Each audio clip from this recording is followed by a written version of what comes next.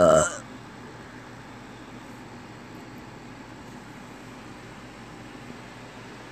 Hey guys, so I'm gonna.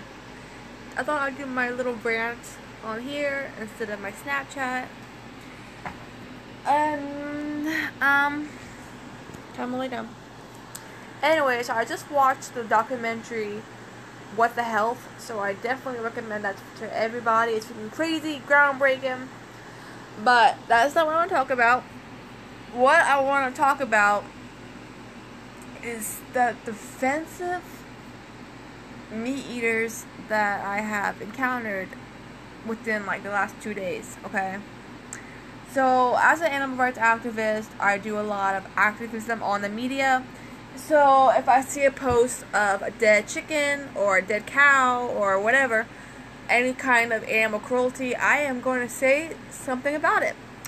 And I usually just say, you know, the statistic of how many animals die a year. And for some reason, I get so much hate.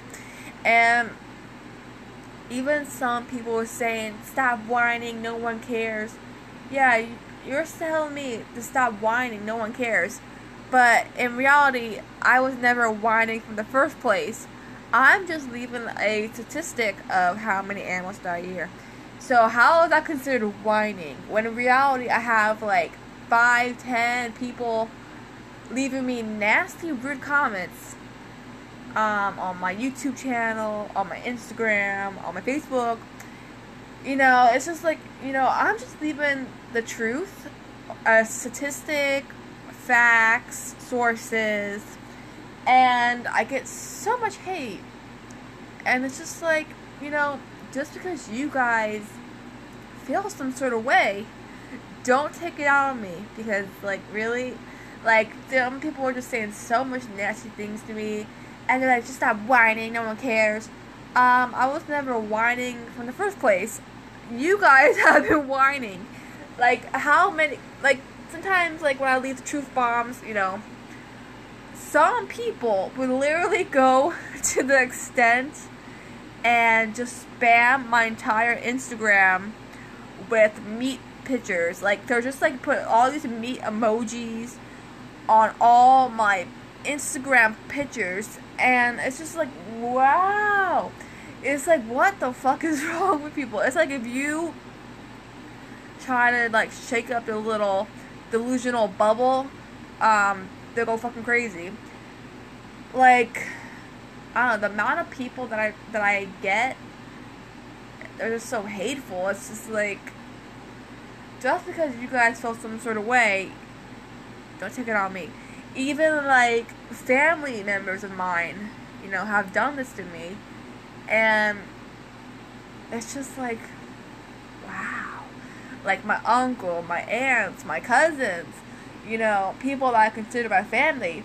When you leave a little bit of truth in their delu- delusional little bubble of security, they're just so angry and offensive and mad and take it all on you. Like, when I leave, when I leave these statistics, proof, you know, real proof, scientific proof, I get so much hate from all of these people, and some even say, "Stop whining, no one cares."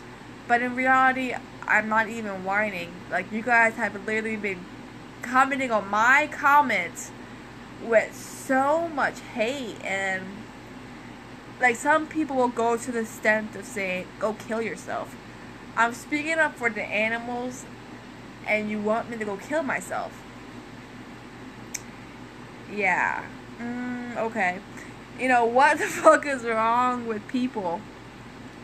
Like, in I like I think I had three situations where I had to block people on Instagram because they got so defensive at my comment, you know, my statistics, or commenting back to them for saying something hurtful to me and rude, that they would go to the extent to go on my entire Instagram and just post all these meat emojis on all my posts. And it's just like, that takes a lot of effort, you know? So, it's just just crazy.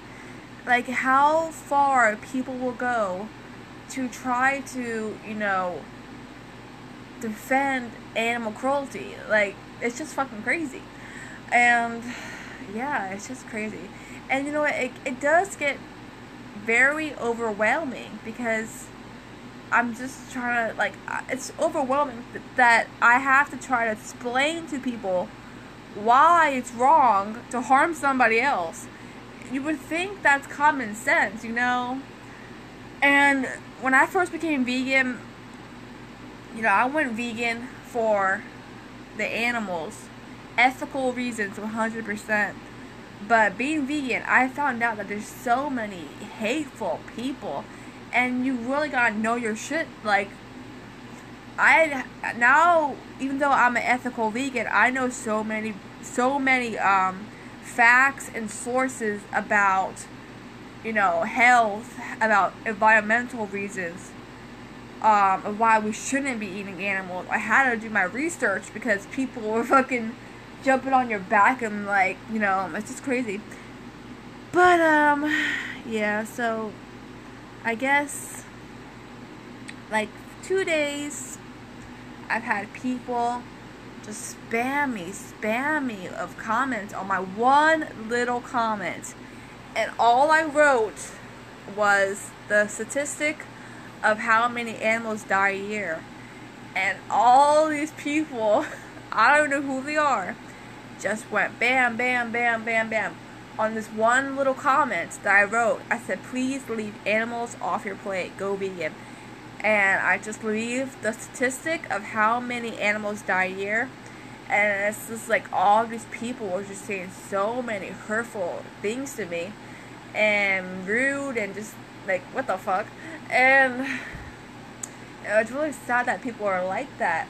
You know, to go to this extent to try to um, you know, defend their their reasons to hurt animals, which is so fucking crazy. And there's no need to eat animals because it's fucking disgusting, wrong, cruel, bad for our health, and bad for the environment. But um, anyway, so yeah, I don't know, guys. It doesn't. It, I mean, it bothers me to a certain extent. A little bit because, you know, these are the people that are walking around the earth and teaching their children this, you know. This is not good good for our planet because our planet right now is dying and people are literally dying and it's like people are eating the animals, the animals are killing them and they're killing our planet. So stop killing animals and stop eating them. It's just you don't need to. Anyway, so I'm gonna go now, but yeah, bye.